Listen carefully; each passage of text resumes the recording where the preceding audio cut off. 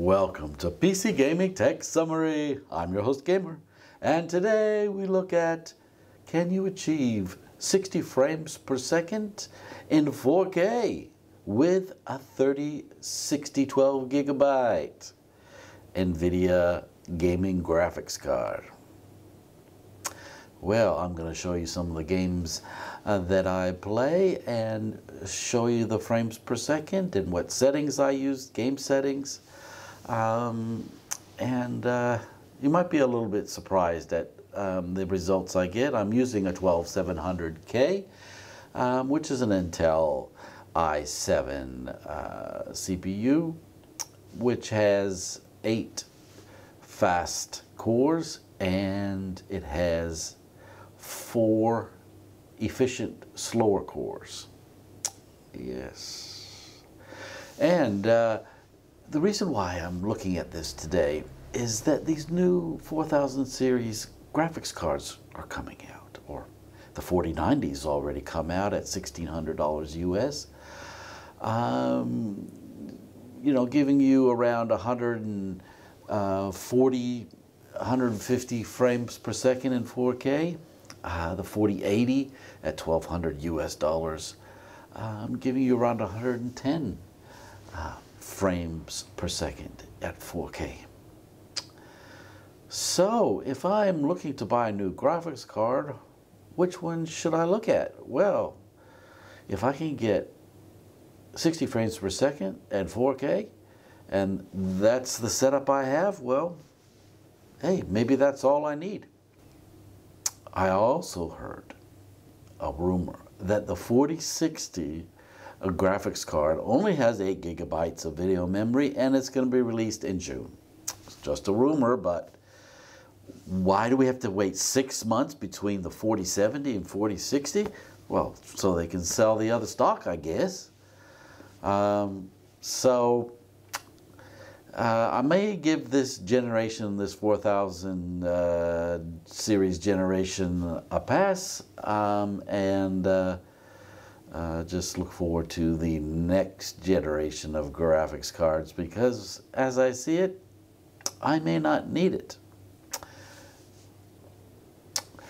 I have a 3060 12 gigabyte, EVGA XC card, and um, only has two fans. Um, and uh, this is the second one. Um, the first one I returned uh, because the temperature shot up. And I think it was caused by some thermal paste issues, like an inferior thermal paste or not being applied properly. Um, so if you have one of those cards and you're out of warranty, um, don't just throw it out. Um, you may be able to re replace that thermal paste and uh, you'll be good to go. Um, but I don't want to have to do it on my card. I hate taking it apart and put it back together and then do something wrong and it doesn't work and that kind of thing. So what have I done? Well, I have basically underpowered my card. So I've taken the power slider and moved it to 80%. And so I'll talk a little bit about difference in frames per second by doing that and the difference in temperatures. And spoiler alert, the temperatures do go down. Yes, so there is hope if your card is producing too much heat. Um, you may be, may, may be able to reduce the power on it and still have it work. Okay? All right. So um, with this 3060 12 gigabyte, if I had to buy one over again, I'd really look at one with three fans instead of two fans. Um, so keep that in mind. Um, there's about a $20 difference to get one with three fans. Now, I'm not going to tell you what brand to get. I'm hearing bad things about the um, software for different uh, video cards. Well, um, it's a shame EVGA has pulled out of the video card market. Um, they even re released a new um, software version for their um, graphics controller, um, for their overclocking software for the um, their video cards. And I was quite surprised because I thought they were done.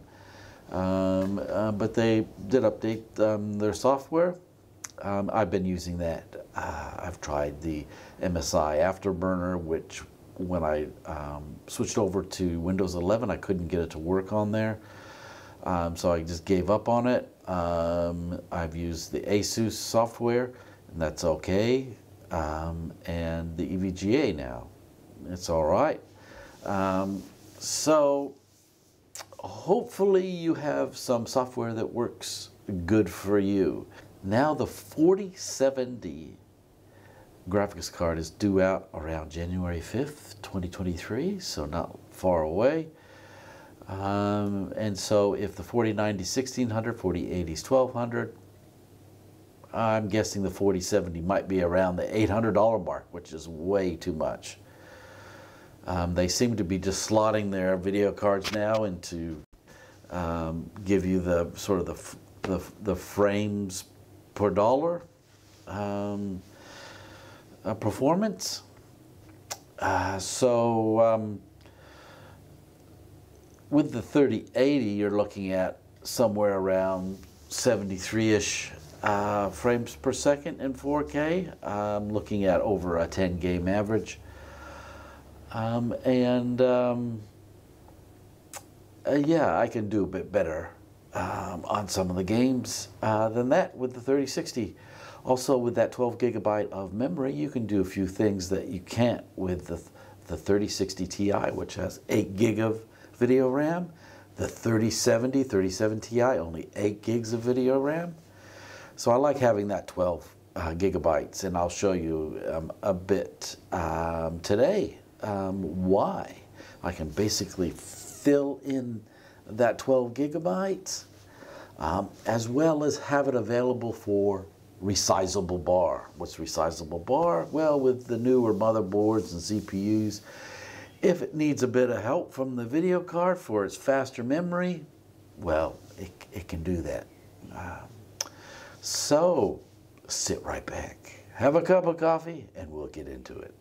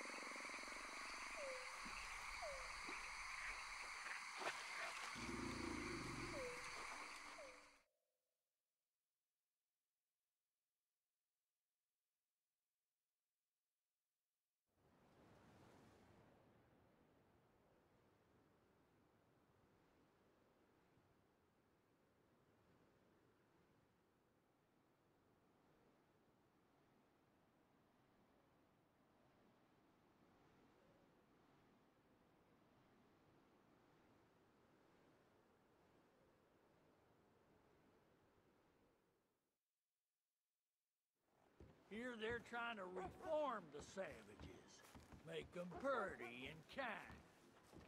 Mm-hmm.